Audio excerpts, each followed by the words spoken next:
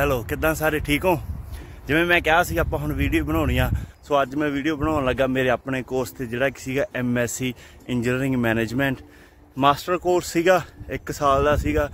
ਤੇ Lincoln university ਦੇ ਵਿੱਚ ਤੁਹਾਡਾ ਜਿਹੜਾ ਕੋਰਸ 1 ਸਾਲ ਦਾ 1 ਸਾਲ ਦਾ ਨਹੀਂ ਹੁੰਦਾ 8 ਕੁ ਮਹੀਨਿਆਂ ਦਾ ਹੁੰਦਾ।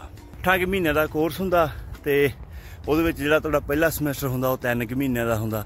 ਉਸ ਤੋਂ ਬਾਅਦ ਤੁਹਾਨੂੰ ਅ, 15 ਕੁ ਦਿਨ ਦੀ ਛੁੱਟੀ ਹੁੰਦੀ ਆ। ਉਹ ਛੁੱਟੀਆਂ ਦੇ ਵਿੱਚ ਉੱਥੇ ਤੁਸੀਂ ਫੁੱਲ ਟਾਈਮ ਕੰਮ ਕਰ ਸਕਦੇ ਆ ਹਨਾ?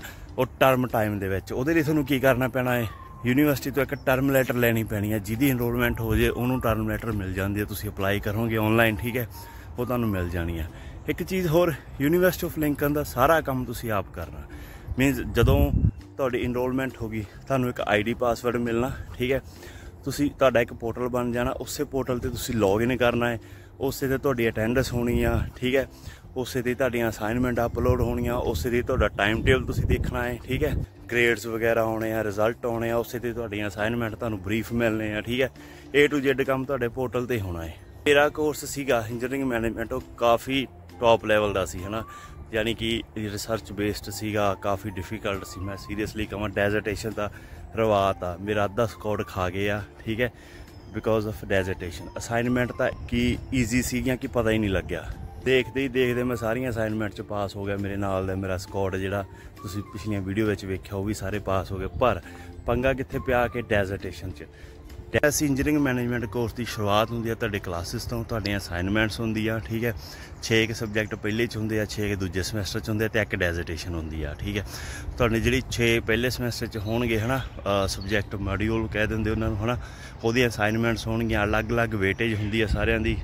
ਮੰਨ ਲਓ ਤੁਹਾਡਾ 100 ਪਰਸੈਂਟ ਦੀ ਵੇਟੇਜ ਆ, ਉਹਦੇ ਵਿੱਚ ਤੁਹਾਨੂੰ ਦੋ ਅਸਾਈਨਮੈਂਟ ਦੇਣਗੇ, ਇੱਕ ਦੀ ਜਿਹੜੀ ਵੇਟੇਜ ਆ ਉਹ ਹੋਊਗੀ ਕੋਈ 70% ਠੀਕ ਹੈ, ਦੂਜੇ ਦੀ ਹੋਊਗੀ 30% ਸੋ ਇਦਾਂ ਕਰਕੇ ਸਾਰਿਆਂ ਦੀ ਵੇਟੇਜ ਹੁੰਦੀ ਆ। ਤਾਂ ਤੁਸੀਂ ਕੁੱਲ ਮਿਲਾ ਕੇ ਦੋਨੇ ਅਸਾਈਨਮੈਂਟਸ ਦੇ ਵਿੱਚੋਂ ਯਾਨੀ 100 ਨੰਬਰ ਦੇ ਵਿੱਚੋਂ 50% ਲੈਣੇ ਹੁੰਦੇ ਆ। ਜੇ ਤੁਹਾਡੇ ਪਹਿਲੇ ਦੇ ਵਿੱਚੋਂ ਵੀ 50% ਆ, ਦੂਜੇ ਚੋਂ ਵੀ 100 ਚੋਂ 50 ਹੈ, ਠੀਕ ਹੈ, ਤਾਂ ਤੁਸੀਂ ਪਾਸ ਆ। ਇਹ ਇੱਥੋਂ ਦਾ ਪਾਸ ਕ੍ਰਾਈਟੇਰੀਆ ਆ। ਕਿ ਪਾਸ ਹੋਣਾ ਕੋਈ ਔਖੀ ਗੱਲ ਨਹੀਂ, ਤੁਸੀਂ 100 ਦੇ ਵਿੱਚੋਂ ਜਿਹੜੇ 50% ਨੰਬਰ ਹੀ ਲੈਣੇ ਆ, ਚਾਹੇ ਉਹ ਅਸਾਈਨਮੈਂਟ ਤੇ, ਚਾਹੇ ਉਹ ਡੈਜ਼ਰਟੇਸ਼ਨ ਆ, ਠੀਕ ਹੈ? ਸੋ ਇਹ ਤੁਸੀਂ ਧਿਆਨ ਰੱਖਣਾ ਵੀ ਤੁਸੀਂ ਟਾਈਮ ਤੇ ਜਿਹੜੀ ਅਸਾਈਨਮੈਂਟ ਆ, ਉਹ ਸਬਮਿਟ ਕਰੋ, ਠੀਕ ਹੈ? ਉਹਨੂੰ ਐਡਵਾਂਸ ਦੇ ਵਿੱਚ ਬਣਾ ਲਓ, ਠੀਕ ਹੈ? ਬਣਾ ਕੇ ਪਹਿਲਾਂ ਹੀ ਰੱਖ ਲਓ, ਫਿਰ ਨਾਲ ਦੀ ਨਾਲ ਉਹਨੂੰ ਸਬਮਿਟ ਕਰਦੇ ਜਾਓ। ਡੈਡਲਾਈਨਸ ਹੁੰਦੀਆਂ, ਹਨ? ਉਹਨਾਂ ਨੂੰ ਫੋਲੋ ਕਰੋ, ਠੀਕ ਹੈ? ਸੋ ਕਲਾਸਿਸ ਬਹੁਤ ਜ਼ਰੂਰੀ ਆ। ਜਦੋਂ ਤੁਸੀਂ ਆਓਗੇ ਕਲਾਸਿਸ ਜ਼ਰੂਰ ਲਾਇਓ, ਹਨਾ? ਕਿਉਂਕਿ ਜਿਹੜੀ ਪਹਿਲਾਂ ਦੀਆਂ ਕਲਾਸਿਸ ਆ, ਜਿਹੜੀਆਂ ਤੁਸੀਂ ਲਾ ਲੀਆਂ ਠੀਕ ਹੈ? ਉਹਦੀ ਨਾਲ ਤੁਹਾਡੀ ਜਿਹੜੀ ਪਰਸੈਂਟੇਜ ਆ ਕਲਾਸਿਸ ਦੀ, ਹਨਾ, ਉਹ ਅੱਪ ਜਾਏਗੀ। ਇੱਥੇ ਅਟੈਂਡੈਂਸ ਦੀ ਪਰਸੈਂਟੇਜ ਹੁੰਦੀ ਆ 70 ਤੋਂ 75 ਠੀਕ ਹੈ? ਨਾਰਮਲ ਜੀ ਆ, ਪਰ ਜੇ ਤੁਹਾਡੇ 80 ਪਲੱਸ ਆ, ਤੁਹਾਨੂੰ ਠੀਕ ਰਹੇਗੀ। ਇੰਟਰਸਟੀ ਤੁਹਾਨੂੰ ਇੱਕ ਹੋਰ ਚਾਂਸ ਦਿੰਦੀ ਆ। ਫੋਰ ਐਗਜ਼ਾਮਪਲ ਤੁਹਾਡੀ ਇੱਕ ਅਸਾਈਨਮੈਂਟ ਦੇ ਵਿੱਚੋਂ, ਹਨਾ?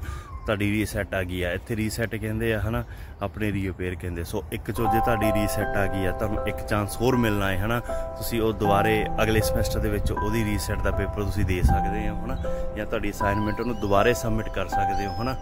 ਅਸਾਈਨਮੈਂਟ ਹੁੰਦੀ ਹੈ, ਹਨਾ? ਉਹਨਾਂ ਦਾ ਸਾਰਿਆਂ ਦਾ ਕ੍ਰੈਡਿਟ ਹੁੰਦੀ ਆ 60 ਕ੍ਰੈਡਿਟ ਹੁੰਦਾ, ਸਾਰੀ ਅਸਾਈਨਮੈਂਟ ਮਿਲਾ ਕੇ ਪਹਿਲੇ ਸਮੈਸਟਰ ਦੀਆਂ ਤੇ ਦੂਜੇ ਦੀਆਂ ਵੀ। ਪਰ ਜਿਹੜੀ ਕੱਲੀ ਡੈਜ਼ਰਟੇਸ਼ਨ ਆ, ਉਹਦੇ ਕੱਲੀ ਦੇ 60 ਹੁੰਦੇ ਆ, ਹਨਾ?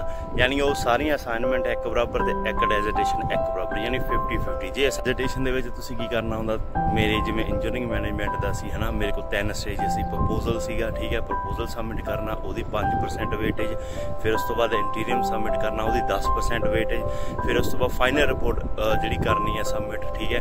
ਉਹਦੀ 75% ਵੇਟੇਜ ਤੇ ਲਾਸਟ ਇੱਕ ਪੋਸਟਰ ਹੁੰਦਾ ਸਬਮਿਟ ਕਰਨਾ, ਸਾਰੀ ਰਿਫਲੈਕਟਿਵ ਹੁੰਦਾ ਉਹਦੀ ਰਿਪੋਰਟ ਦੇ ਵਿੱਚ, ਹਨਾ, ਤੇ ਉਹਦੀ ਪ੍ਰੈਜੈਂਟੇਸ਼ਨ ਸੋ ਇਹ ਚੀਜ਼ਾਂ ਸਬਮਿਟ ਕਰਕੇ ਉਹਦੀ ਜਿਹੜੀ ਵੇਟੇਜ ਹੁੰਦੀ ਉਹਦੀ 10% ਹੁੰਦੀ ਪੋਸਟਰ ਸੋ ਟੋਟਲ ਜਿਹੜੀ ਆ 100% ਵੇਟੇਜ ਹੁੰਦੀ ਆ। ਫੈਸਿਲਿਟੀਆਂ ਫੈਸਿਲਿਟੀਆਂ ਕਾਫੀ ਆ ਯੂਨੀਵਰਸਿਟੀ ਦੇ ਵਿੱਚ। ਜੇਕਰ ਤੁਹਾਡੇ ਕੋਲ ਆਪਣਾ ਲੈਪਟਾਪ ਹੈ ਨਹੀਂ, ਹਨਾ, ਤੁਸੀਂ ਲਾਇਬ੍ਰੇਰੀ ਤੋਂ ਲੈਪਟਾਪ ਜਿਹੜਾ 2-3 ਘੰਟਿਆਂ ਦੇ ਲਈ ਠੀਕ ਹੈ, ਲੈ ਸਕਦੇ ਹੋ। ਤੁਹਾਡੇ ਕੋਲ ਜਿਹੜਾ ਆਈਡੀ ਕਾਰਡ ਤੁਹਾਨੂੰ ਮਿਲ ਜਾਂਦਾ, ਹਨਾ, ਤੇ ਉਹਦੇ ਤੇ ਤੁਸੀਂ ਲੈਪਟਾਪ ਆਪਣੇ ਇੱਕ ਬੋਰੋ ਕਰ ਸਕਦੇ ਆ ਹਨਾ? 2-3 ਘੰਟਿਆਂ ਲਈ। ਸੋ ਤੁਸੀਂ ਜਦੋਂ ਯੂਜ਼ ਕਰ ਲਿਆ, ਉਹਨੂੰ ਵਾਪਸ ਕਰ ਦਿਓ। ਸੋ ਇਹ ਇੱਕ ਫੈਸਿਲਿਟੀ ਹੈਗੀ। ਲਾਇਬ੍ਰੇਰੀ 24 ਘੰਟੇ ਖੁੱਲੀ ਰਹਿੰਦੀ ਆ, ਹਨਾ? ਤੁਸੀਂ ਜਦੋਂ ਮਰਜ਼ੀ ਜਾ ਕੇ ਲਾਇਬ੍ਰੇਰੀ ਦੇ ਵਿੱਚ ਪੜ੍ਹ ਸਕਦੇ ਹੋ। ਬਾਕੀ ਮੈਨੂੰ ਪਤਾ ਤੁਸੀਂ ਕਿੰਨਾ ਕੁ ਇੱਕ ਹੋਰ ਵਧੀਆ ਚੀਜ਼ ਹੈ ਸਟੂਡੈਂਟ ਯੂਨੀਅਨ ਵੀ ਹੈਗੀ ਜਿੱਥੇ ਹਰ ਵੈਂਸਡੇ ਜਿਹੜੀ ਹੈ ਨਾ, ਬੁੱਧਵਾਰ ਨੂੰ ਰਾਤੀ ਭੰਗੜੇ ਪੈਂਦੇ ਆ ਡਾਂਸ ਹੁੰਦੇ ਆ, ਠੀਕ ਹੈ। ਉੱਥੇ ਵੀ ਤੁਸੀਂ ਜਾ ਸਕਦੇ ਹੋ, ਠੀਕ ਹੈ। ਬਾਕੀ ਤੁਹਾਨੂੰ ਇੱਕ ਪਰਸਨਲ ਟਿਊਟਰ ਵੀ ਮਿਲਦਾ ਹੈ, ਤੁਸੀਂ ਜਾ ਕੇ ਉਹਦੇ ਨਾਲ ਡਿਸਕਸ ਕਰ ਸਕਦੇ ਹੋ, ਠੀਕ ਹੈ। ਸੋ ਕਾਫੀ ਕੁਝ ਆ। ਹੁਣ ਜਿਹੜੀ ਮੇਰੀ ਇੱਕ ਪਰਸਨਲ ਟਿਪਸ ਆ ਸਾਰਿਆਂ ਨੂੰ, ਹਨਾ, ਉਹ ਇਹ ਹੈਗੀ ਆ ਵੀ ਜਦੋਂ ਤੁਹਾਡੀ ਡੈਜ਼ਰਟੇਸ਼ਨ ਆ ਗਈ, ਮੇਰੇ ਕੋਰਸ ਨਹੀਂ, ਸਾਰੇ ਕੋਰਸ ਲਈ। ਕੋਸ਼ਿਸ਼ ਕਰੋ ਕਿ ਤੁਹਾਡੀ ਮੀਟਿੰਗ ਇਨ ਪਰਸਨ ਰਹਿਣ।